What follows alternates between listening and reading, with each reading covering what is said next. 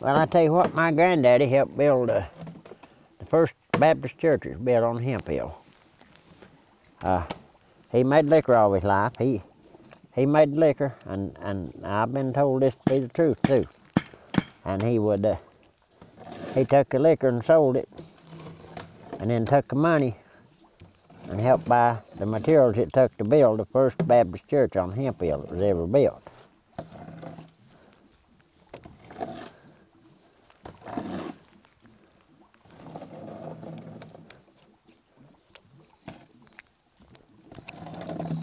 I guess no matter what kind of how you get your money, I mean, if you put it in the right place, I guess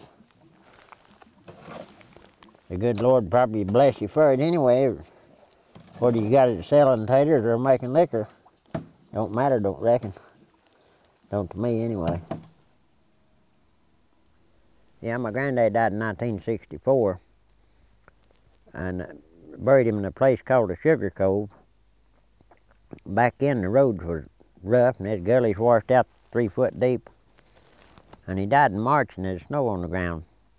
The ambulance went, a hearse or whatever you call it, went as far as it could go and then we unloaded him off the hearse on the back of a Jeep truck and took ropes and roped the casket down and hauled it on into the cemetery.